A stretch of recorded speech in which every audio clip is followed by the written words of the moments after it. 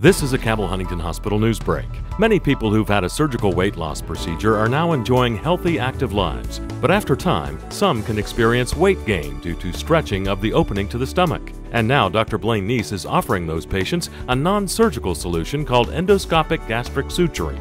Most of the time at the end of a gastric bypass, for instance, that opening is about the size of a dime. So that's pretty restrictive when you're having food and liquids come in and have to leave through that small opening.